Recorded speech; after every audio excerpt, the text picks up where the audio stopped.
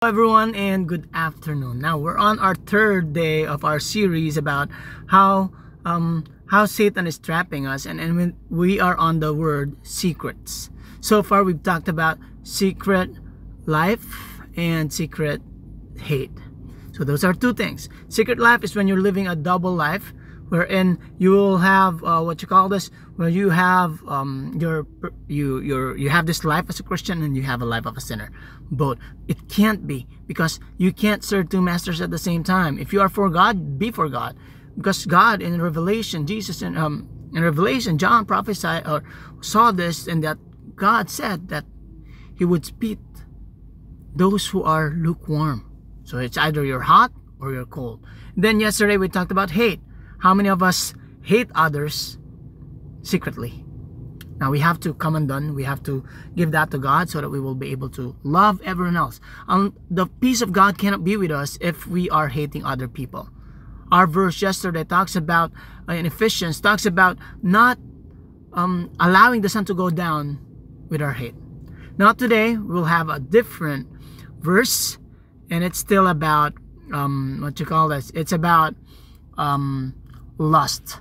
So, secret lust, that's what we will be talking about today. And um, before we begin, of course, let's pray. Father in heaven, we praise and thank you for today. Thank you for your greatness, for your love. Thank you, Lord, because you're always there for us.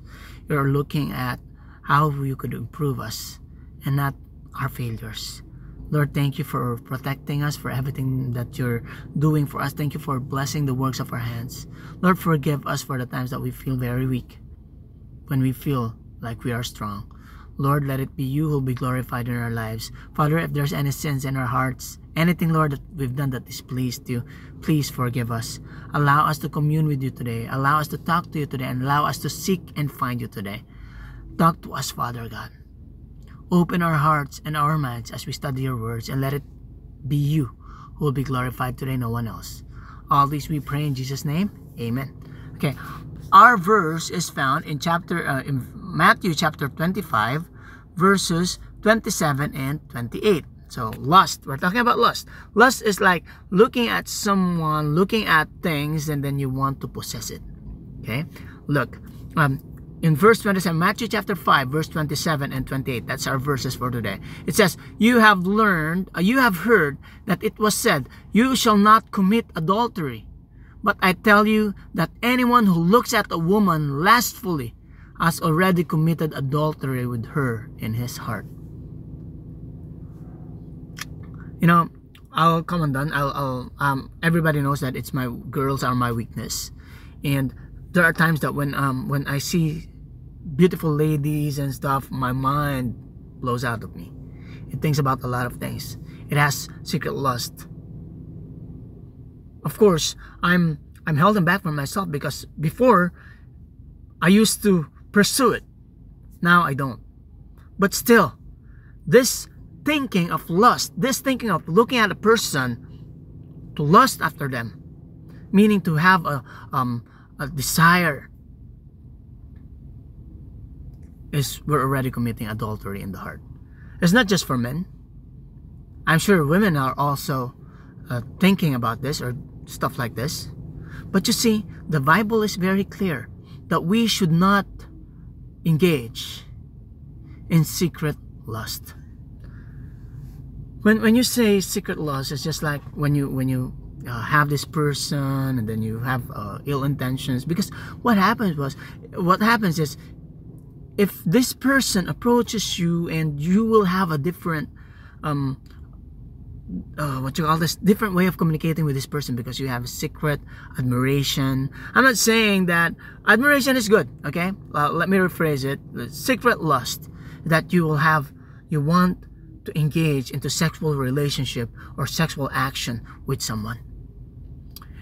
In our age today pornography is so rampant even when you're looking at a video in Facebook or what, wherever you when you scroll you'll see pop-ups. You'll see a lot of things about lust about porn about the devil. And what's what what um what's very clear is that these people when they do their sexy stuff, or they do their lust, where they do this this um, enticing thing, they even have horns, showing that it's really the devil who's trying to to engage you. But people still wants to watch. The rate of pornography in the Philippines and all over the world is staggering. You will not believe that around 80% of the population engages in porn. We say soft porn or whatever it is, especially the young ones. And that's very sad. Thinking that it's okay just to lust after a person. Anyway, I'm not doing anything. I'm just thinking about it. But Jesus is very clear here. You have heard that it is it was said, you shall not commit adultery, but I tell you that anyone who looks at a woman lustfully, or in other versions it says to look at a woman to lust after her, already committed adultery with her in the heart. Let's be very careful in things like this. There's um there's always this struggle and that's why I've heard a lot of testimony about when you see a beautiful woman, just appreciate but don't look back. Don't have second look. Because if you have second look, then that's there will be some intentions there and you'll continue to second look, third look, fourth look, fifth look, and whatever look. okay. But I, I I want to remind each and every one of us that if we want to live a holy life with God, God is a jealous God. He have given us our partners.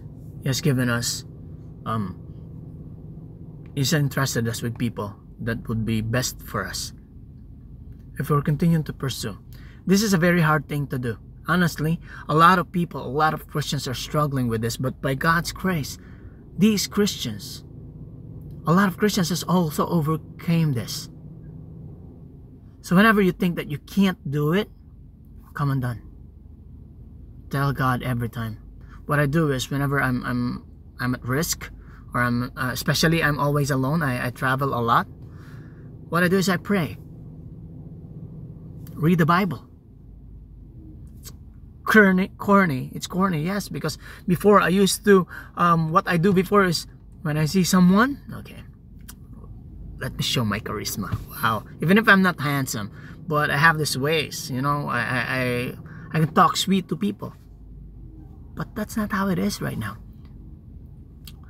Because I've learned that looking at a woman to lust after them, or the other way around, like if you're a lady looking at a man to lust after them, it's already committing adultery in the heart. And adultery, adulterers will not possess the kingdom of heaven, cannot enter the kingdom of God.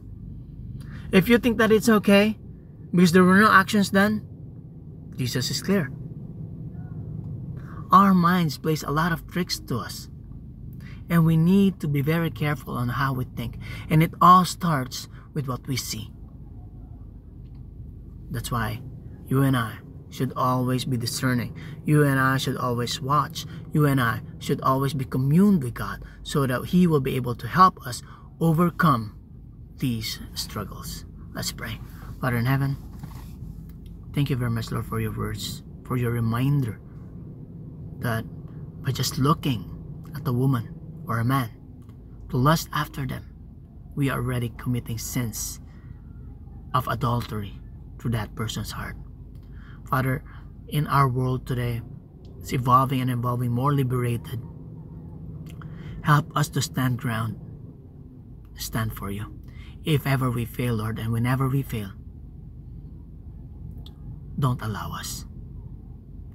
Whenever we think of justifying ourselves that there's nothing going to happen.